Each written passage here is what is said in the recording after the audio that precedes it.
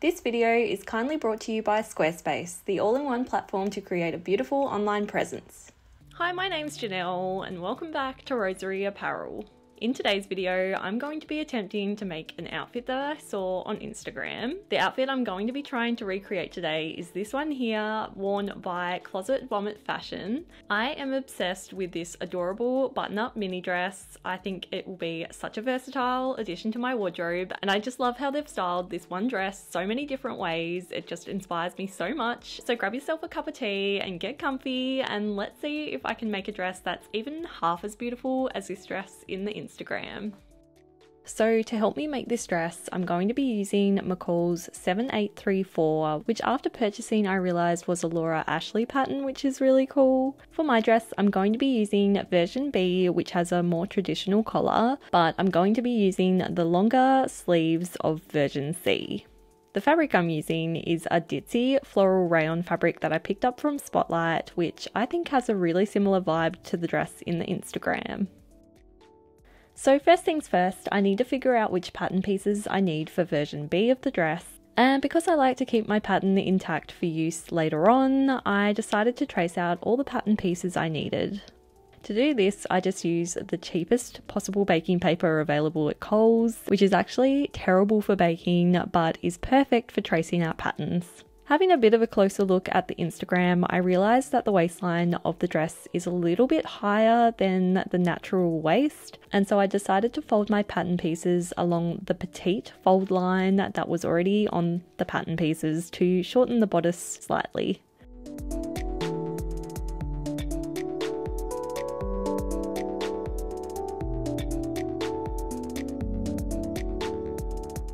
I then laid out all of my pattern pieces onto my fabric and then cut them all out.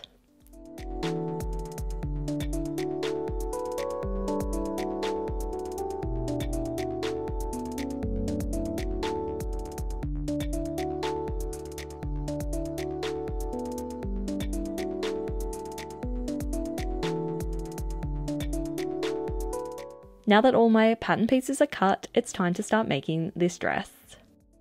First up, I marked out the darts on the front bodice pieces and then stitched them in place.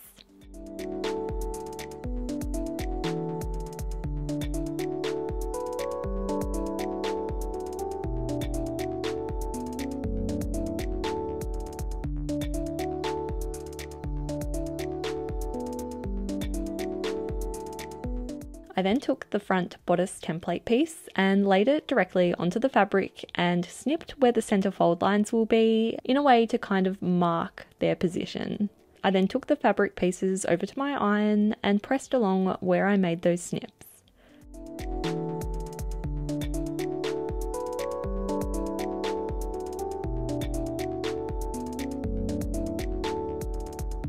I then stitched the folded fabric in place and this is going to be where the buttons will be stitched along the front of the dress. Then with right sides together, I place the bodice fronts onto the bodice back and stitch them together like this.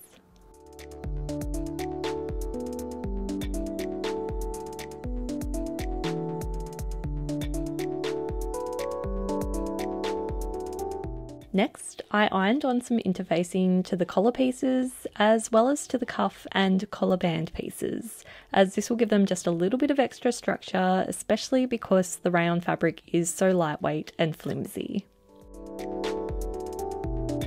Then with the right sides together, I stitched the collar pieces together like this.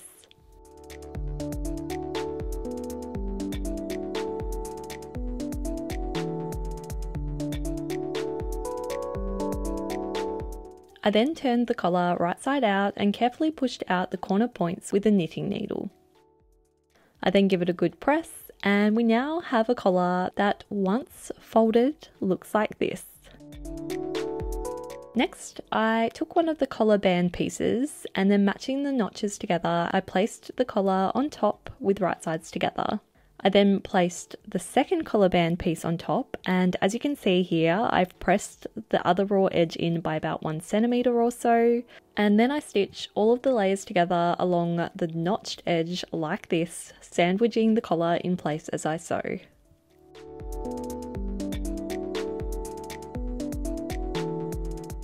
Next, I take the bodice and with right sides together, I pin and stitch the non-pressed collar band into place along the neck edge of the bodice.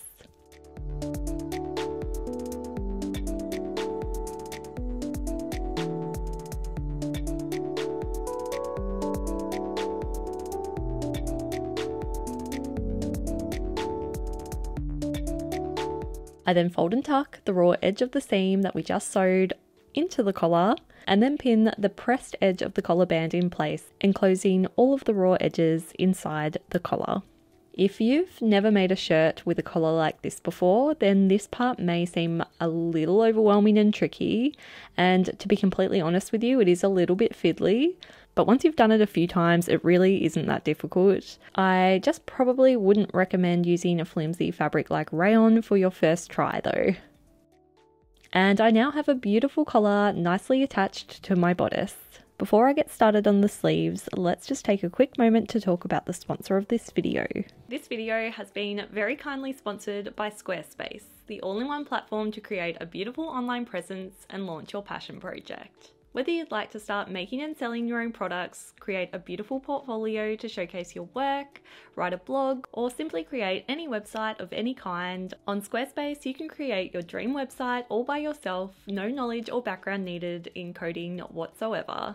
I've personally been using Squarespace to run the Rosery Apparel website since 2016, and at the time I did not have any extra money to put towards a custom website build. So, when I discovered Squarespace and just how easy they made it to create your dream website on your own, I was so excited. And honestly, I ended up making my website in just an afternoon. They just make the whole process so stress free and easy. Something that I really appreciate about Squarespace and have found super valuable in the five plus years years I've been using the platform is their award winning customer service. I've only ever had to get in touch a few times with a couple of questions, and every time it's been such an easy process to actually chat to someone about the problems I'm having. And each time I've contacted them, my issues have been resolved 100% and in a really quick, timely manner. So if you'd like to create a website of your own, then head to squarespace.com for a free trial, which I totally recommend you do so you can test out just how easy it is to build your dream website for yourself.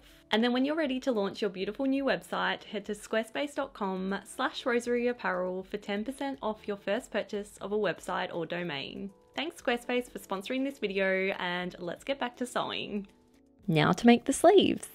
Firstly, with right sides together, I fold the sleeves in half and stitch them together, leaving a good 10 centimeters or 4 inches unsewn at the ends like this.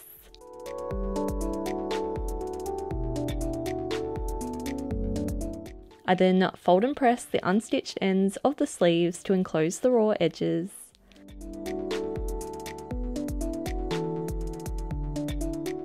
And then stitch the folded edges in place.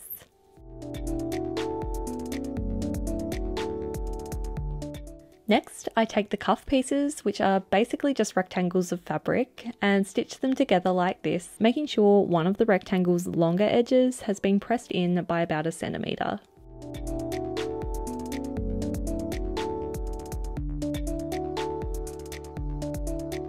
Then with right sides together, I pin the non-pressed edge of the cuff to the end of the sleeve. I gathered up the end of the sleeve slightly to help make it fit along the cuff better and to add a tiny bit of puffiness to the sleeve as well.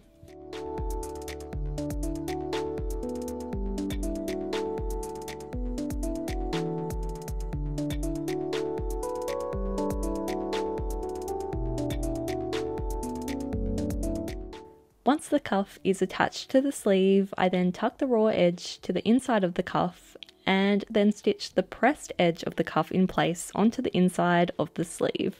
Again, this sounds really complicated, but it's honestly not that difficult. And once the sleeves were done, it was time to attach them to the bodice of the dress.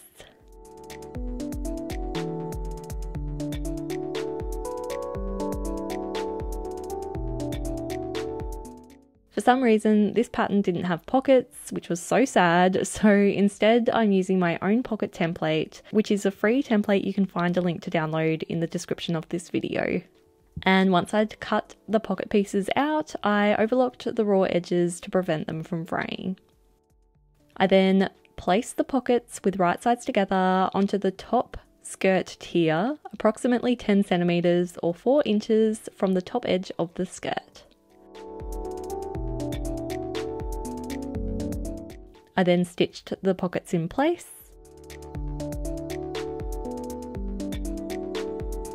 And then once stitched in place, I placed the skirt front onto the skirt back and stitched them together along the side edges and pockets like this.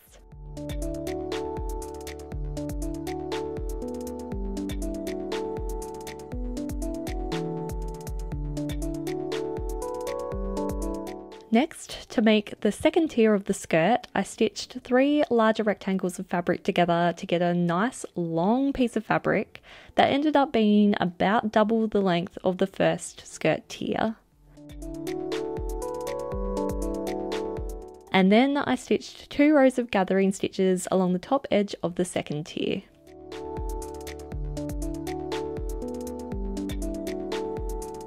I gently pulled on the gathering stitches to gather up the fabric of the second tier until it was approximately the same size as the first tier. Then I stitched the two skirt tiers together with right sides together.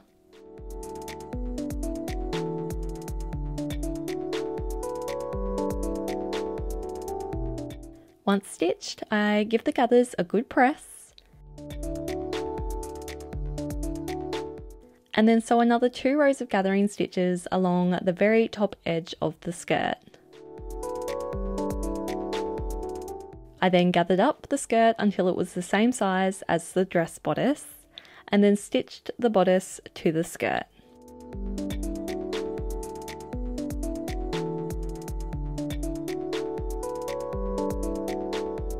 Once the skirt was stitched in place, I sewed another seam approximately one centimetre or so from the previous seam, which will create a casing for some elastic because we're going to make an elasticated waist. In order to thread the elastic through, I made sure to leave a small opening like this. I then measured a piece of elastic that sat comfortably around my waist and then used a safety pin to thread the elastic into the casing I just made along the waist of the dress.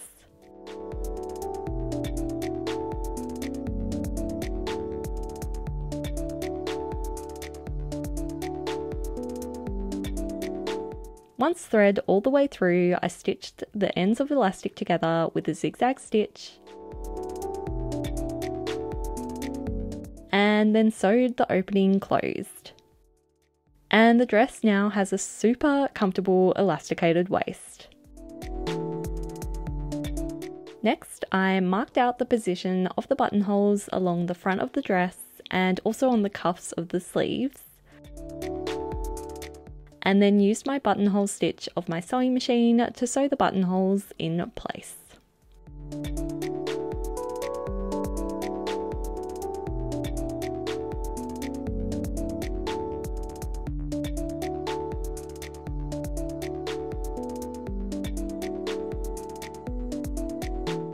I then hand stitched the buttons onto the dress and then all that was left to do was hem the bottom edge of the skirt. And my adorable button up dress is complete. So, how does this dress compare to the one in the Instagram?